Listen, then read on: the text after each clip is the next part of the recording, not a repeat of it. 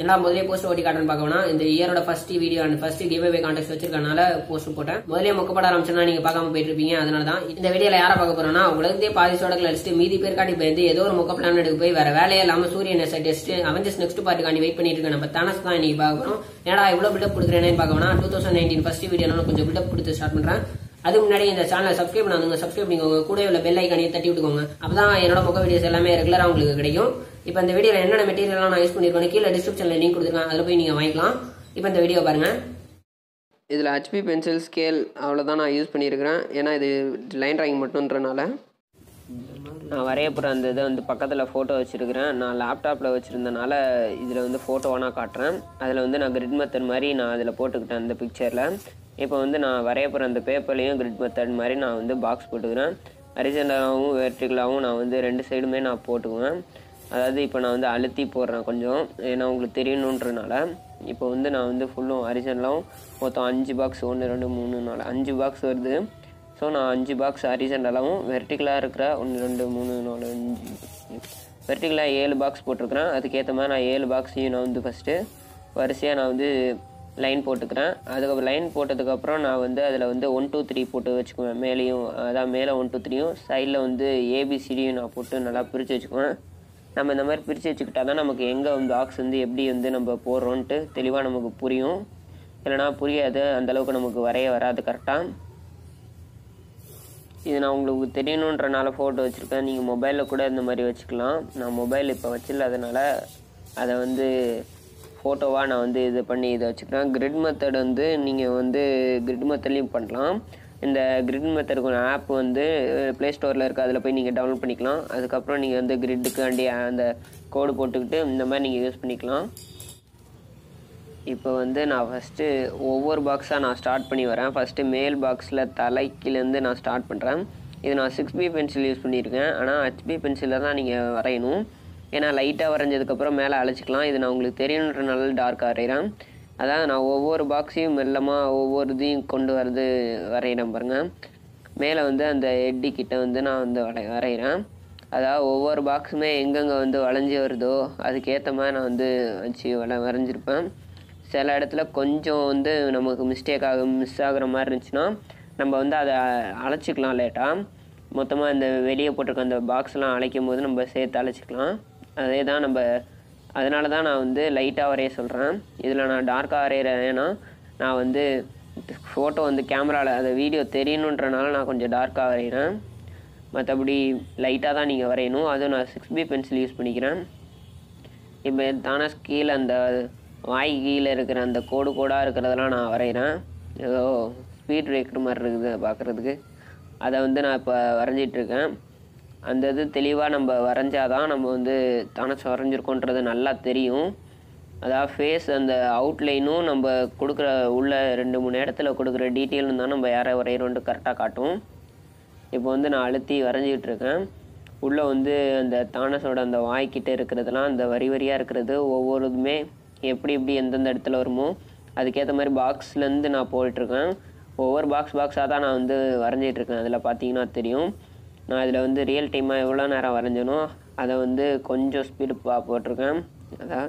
அதாவது கொஞ்சம் ஸ்பீடப்னா லைட்டாக அங்கங்கே மட்டும் ஸ்பீடப்பாக போட்டிருக்கேன். ஏன்னா ஒவ்வொரு பாக்ஸும் நான் ரொம்ப பொறுமையாக தான் வரைஞ்சிருப்பேன். அதை வந்து இதில் வந்து கொஞ்சம் தான் இது பண்ணி காட்டுறேன். ஏன்னா ரொம்ப ஸ்லோவாக வரைஞ்சால் தான் நமக்கு வந்து கரெக்டாக அந்த அக்யூரேட்டாக நம்ம யாரை வரைகிறோன்ட்டு கரெக்டாக வரைய முடியும்.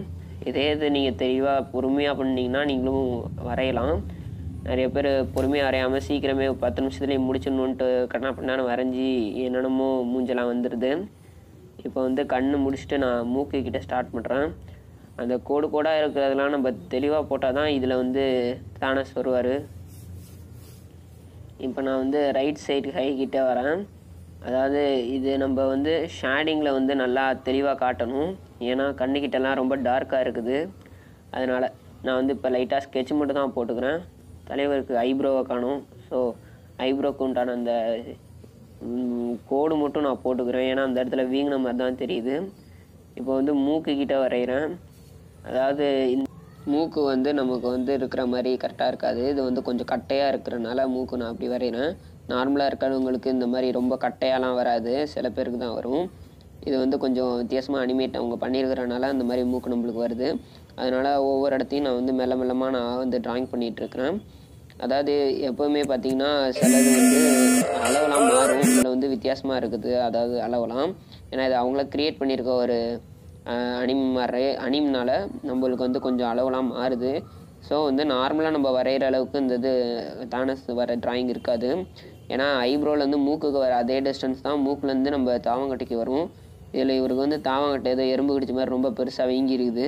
அப்படி அந்த மாதிரி க்ரியேட் பண்ணியிருக்காங்க வித்தியாசமாக இது கீழே வந்து இப்போ நான் வந்து வாய் வந்து வரைஞ்சிட்ருக்கேன் வாயில் வந்து கரெக்டாக அந்த நடுக்கோடு எங்கேருந்து வருதோ அதுக்கேற்ற மாதிரி நான் வந்து முடிச்சுட்ருக்கேன் வாய் இப்போ வந்து கீழே நடுவில் வரதை நான் வந்து வரைஞ்சிட்ருக்கிறேன் அதாவது கீழே வந்து நம்ம அதே மாதிரி கோடு போட்டு வரைய முடியாது அந்தளவுக்கு ஏன்னா அந்த கோடு கோடாக வர்றது தான் வந்து கீழே வாயை வந்து கரெக்ட் பண்ணி மூடுது.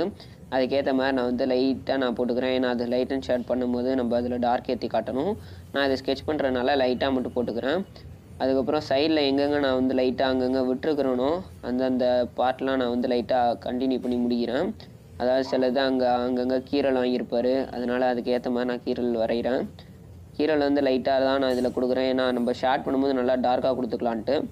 இப்போ வந்து காதுக்கு வந்து இந்த சைடு வந்து நான் வரைகிறேன் கரெக்டாக எங்கே ஸ்கெட்ச் வந்து முடியுமோ அதுக்கேற்ற மாதிரி லைட்டாக இந்த சைடு லெஃப்ட் சைடு சின்னோண்டு காது தான் வருது.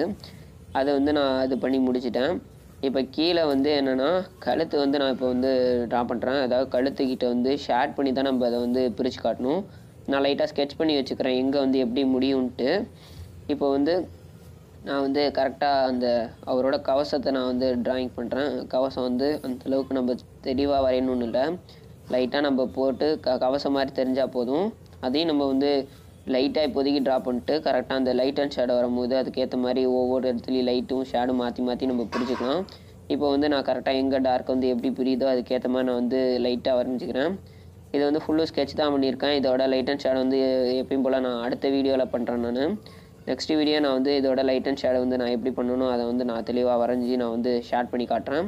இப்போ வந்து இதை வந்து ஃபுல்லு வந்து கவசத்தை நான் ட்ராயிங் பண்ணி முடிக்கிறேன். ஒவ்வொரு இடத்துலையும் எப்படி வந்து முடிஞ்சிருக்கோ அதுக்கேற்ற மாதிரி நான் வந்து வரைஞ்சிட்ருக்கேன். இப்போ வந்து வரைஞ்சோன்னா அது வந்து கடைசியாக இப்போதைக்கு நான் வரைஞ்சி முடிச்சோன்னா அந்த அவுட்லைன் கோடு நான் கரெக்டாக வச்சு போட்டுக்கிறேன்.